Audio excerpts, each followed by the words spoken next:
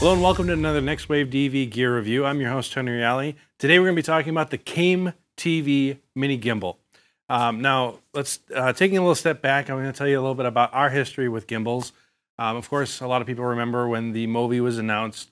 Um, you know, kind of got a lot of people excited about the potential for gimbals, as we were excited about it. Uh, but at 15 grand, it was not something that I was willing to throw cash on.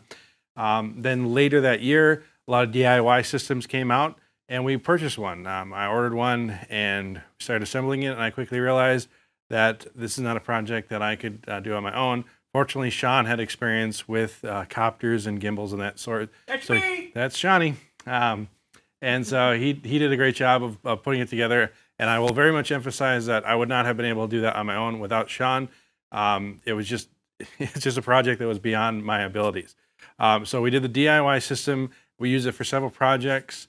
And uh, honestly, without it, we would not have been able to accomplish several looks, but it still wasn't the perfect solution. Then at NAB uh, last year, we all heard about the Ronin, we heard about the Helix, we heard about a lot of different gimbals. Those two are the ones that really uh, stood out to me, both in in uh, cost effectiveness um, and uh, in functionality. But there was still a bit of a price jump uh, for me to want to just throw cash at. Um, then the Ronin hit a huge drop in price because of all the pre-orders. Went from 4,500 to three grand, and that's when I decided to sell my old gimbal and uh, and go ahead and jump on board with the Ronin. And so that's the this is the Ronin right here. We've been using it for several months now.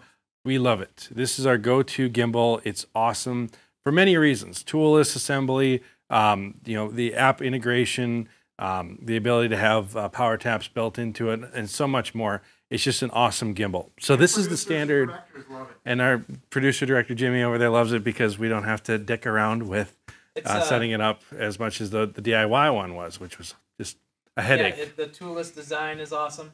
Yes, and Sean. very fast for. Sean, I mean, I can set this up. The other one I couldn't calibrate on my own. I couldn't do it. I needed Sean. So the Ronin allowed, like the first shoot that we had to do, it Sean wasn't available. I had to set it all up myself, and I did. The previous one, Sean had to bring like his laptop, plug into it. We had to do a lot of calibration. Um, so just the, the design of the Ronin is really smart. So I say all of that to give you like we have some background experience with gimbals. Um, and we have a standard now of what an ideal gimbal setup should be. Um, so all that said, here we've got the CAME-TV mini gimbal. And uh, there's a lot of things that this is similar to the Ronin, and there are a lot of things that this is completely has nothing to do with the Ronin. And so we're going to go over those, our experiences with it, and what I really think this is going to be like. So uh, first off, you can see it's smaller. The Ronin is a good size um, for for most camera systems out there. Reds, um, you know, we shoot in the FS700. Um, and so it's a really great camera size for that. It also works well with the A7S if you're going to kit it out with um, like a, you know, I use Canon zoom lenses um, with a Redrock Micro uh, wireless follow focus system. And so when you kit out that much stuff on the camera, it becomes a bigger package. And the Ronin works really, really well with this. Um, and so we use this a lot for that type of setup. But it also is big enough that it can't work with super small camera packages. So one of my favorite setups for gimbal work is the A7S with the Sony 10 to 18 millimeter f4 IS uh, G lens. It's a great lens, perfect for uh, for gimbal work. Because you got that 10 to 18 mil range, which is really ideal for gimbal. Um, it's got IS, so it can get rid of some of the the different things that um, you know the, the, imperfections that you might get with a gimbal, and um, you know, it's you know, it's just a great lens. Um, so f4 is, is is relatively fast for what it needs to be. Constant aperture, so you don't have to change any of that setting. Um, good, great lens. But this camera package is so small that it actually can't work just on the Ronin by itself. So I actually have to put this lens on like my FS100, and that's like the lightest camera package that I can put on here. And um, so the idea of being able to take this lens this camera, which I, I love the A7S. I've, I've, been loving it for a while. It's I call it like a mini FS700. The picture quality that I can get from that is awesome. I also have a Shogun now, so I can get 4K ProRes out of it. It's a great, great little camera. Um, yeah, I'll still use my 700 for a lot of stuff, but I love the A7S. is like a nice little B mini camera to my FS700. So this system right here can really accomplish a lot as far as picture quality goes. Um, and the fact that I can't use it on the Ronin is sometimes frustrating because I just want to go autofocus and run around. Um, so the this little setup here gets me about 50% of the way of what I would need a gimbal for. Autofocus, you know, wide angle lenses, running around, quick setup. That's, you know, half of the stuff that we use the Ronin for. The other half we use it for is when we're doing oners, you know, long shots, um, and we need to pull focus and stuff like that. You can't really put much more than this camera package on here. You start adding a bigger lens, you, you couldn't add a wireless follow focus or anything like that. So, you know, that's where you'd have to go back to a larger gimbal.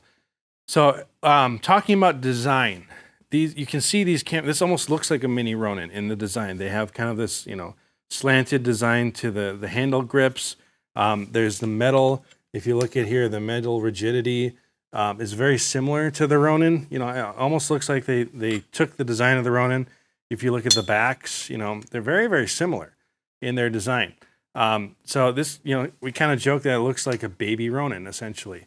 And uh, and as far as it goes, you know, design wise, it is similar, but functionality, it isn't.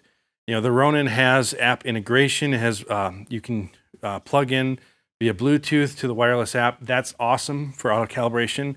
This one doesn't have it. It has a USB port, and they say in the in the manual, don't change any of the settings. So I haven't tried to. Uh, they, they, claim right out of the box that it's supposed to work perfectly. Um, now we have experience using some of the uh, the software to be able to calibrate it. Um, and I, am trying to not use it. I don't want to go in there because I want to see how it works separate from that. So we haven't done that. We've just taken it out, plugged it in, and went away to go. So getting it all set up, um, your first thing you're going to notice, one of the biggest potential issues and frustrations um, is the fact that this is not a toolless setup. It is, in fact, there's Jimmy putting plants back. um, this one has toolless design across the board, which is awesome. Um, when we when we did our DIY gimbal, there were so many Allen wrenches and little screws everywhere that we were going crazy. And the always fact, stripped, always stripping screws. Yes. Um, and so the the toolless design of the Ronin was something that probably one of our favorite features about it. We're back to tools here, you know. So we got all these Allen wrenches that come with it. Now, one smart thing is they came with a, a bunch of different extra screws. Now, that was one of the frustrating things. Like we spent far too much time at the local um, uh, uh, Fastenal. Fastenal, yeah, and uh, uh, even online trying to find screws that were we were stripping. Um, as far as stripping goes, I did strip one screw on here thus far. So I mean, it kind of reminded me a little bit of some of that cheap Chinese manufacturing in that regard. But setting it up. Once you get it set up, one of the nice things about it is that let's assume that this is the you're going to pick one camera package and you're only going to use that for this gimbal. Setting it up again is not that difficult because you've already balanced it for that. Now, if I change the lens, I change the camera, well, then you're going to have to rebalance it. But for me personally, this is the this would be the setup that I would use on here. This lens, this camera, that's it. So so taking the camera off there, putting it back on, there's hardly any balance to to do that because you've already set it up the first time. So that's not too big of an issue to me to have that because I'll take the half hour to set it up initially and then I won't have to do that again. Um, now going back to some of the the conveniences, the it comes with a stand. That's great. The stand is not toolless either. You have to manually screw everything in together. The Ronin stand, quick release, pops down, goes into the case. This thing, you can fit it back in the case, but it's not, you'd have to unscrew it, all the pieces separately.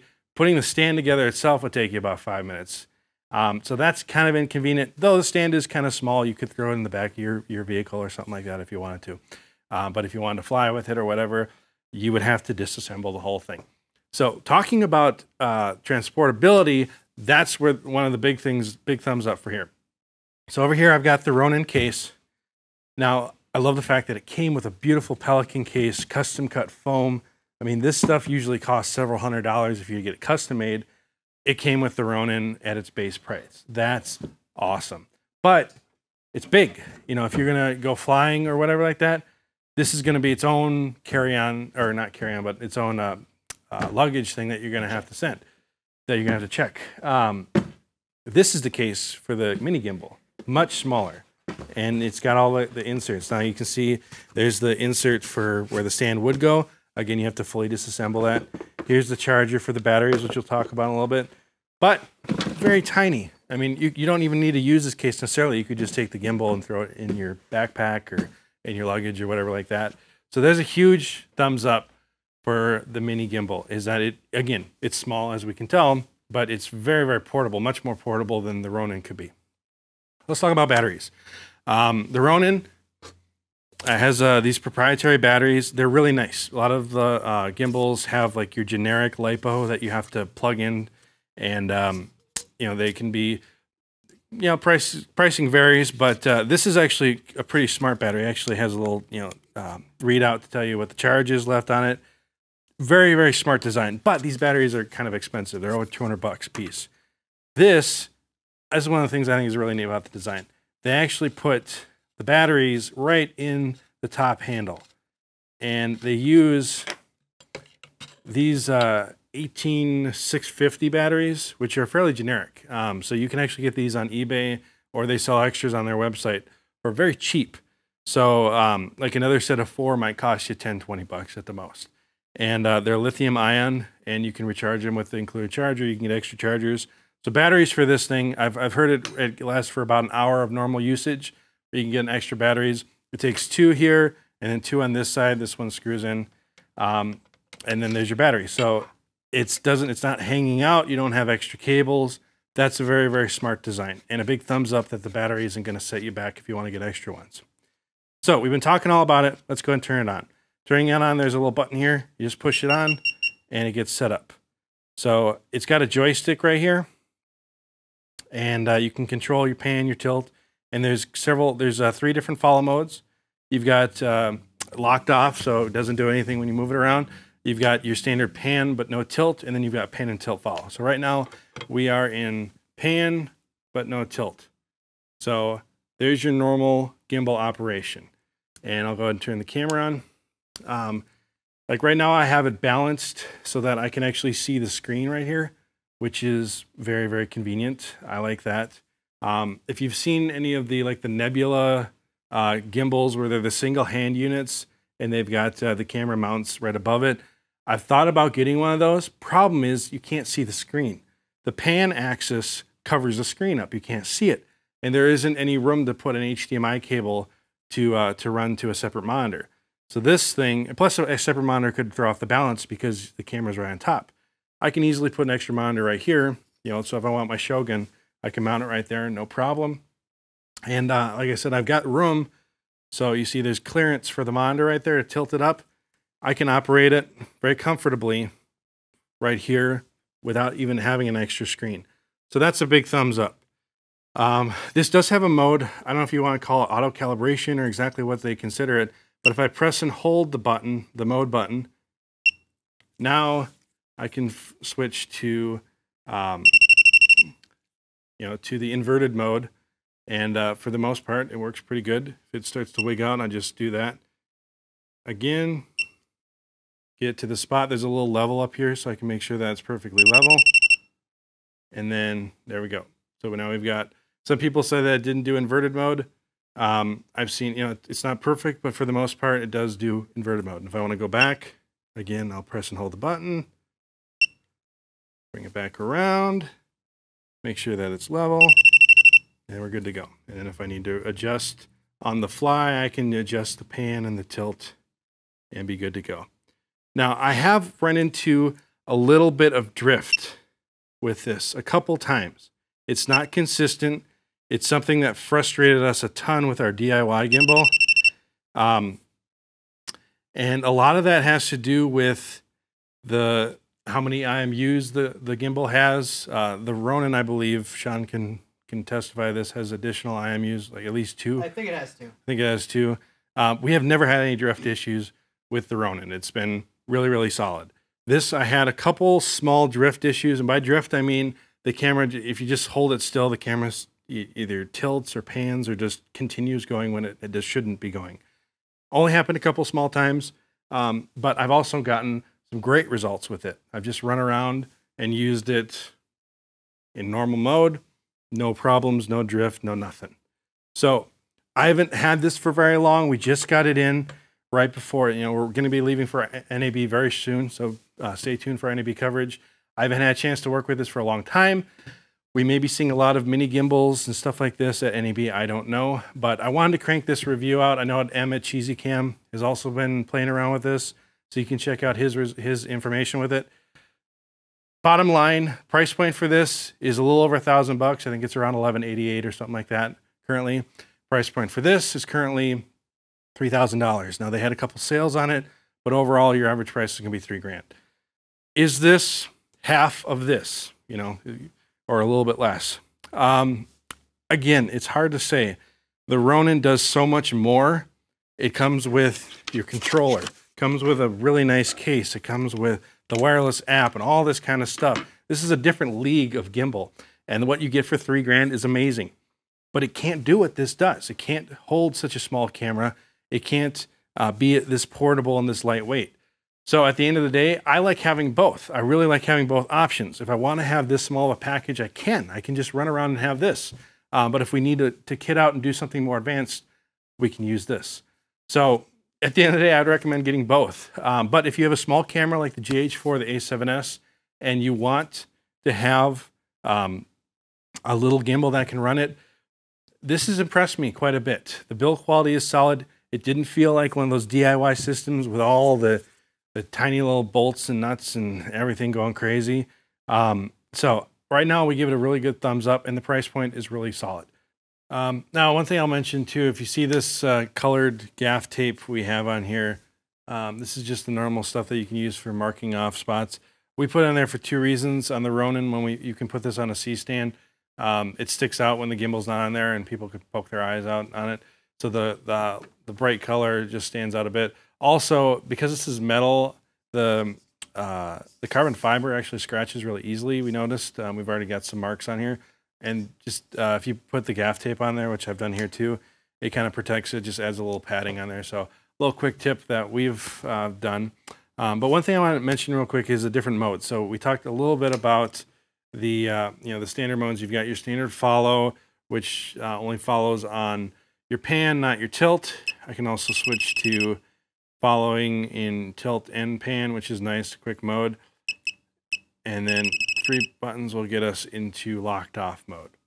So, bam. And then again, press and hold the button, sets up the calibration. Now, we can do whoop, inverted mode. See if that's good enough. We'll try again. Now, there's two ways to do inverted mode you can have the camera properly level um, or you can flip it upside down. Now, if you have the camera perfectly upside down, it's actually got a pretty comfortable range. Like it's not freaking out right here. You can see um, I'm currently need to switch to follow mode. All right. So we have follow mode here, no follow mode here, and not freaking out. Pretty good. So like, you know, obviously Got the A7S, I could actually flip the monitor a little bit so I could see it if I wanted to. Now, if we put it to inverted mode with the camera level, all right, so now we're inverted mode and the camera is level. Fine here, I start doing this and it freaks out. So you can use it like this, just don't tilt it too much and just stay right, right in, right in here and it works okay. Not perfect, but okay. Now, let's go back to our standard mode. All right. So this mode, I, I kind of like. If you do this with the camera, it's so light that you can literally just walk around like this. And uh, I don't know. I think that's kind of neat because this is this is a, almost similar to that that single hand uh, gimbal like the Nebula and stuff, ones like that, where the camera sits right above your hand. This is uh, just very comfortable, and you can do this one-handed. You can get to whatever level that you want, and you can do that. That's something I can't do on the Ronin. The Ronin's way too heavy to, to try and pull something like that off. So I don't know. That's that's a neat mode. So just something to keep in mind that there's certain things that you can do with this thing that you can't do with a normal gimbal. So that's the CAME-TV Mini Gimbal.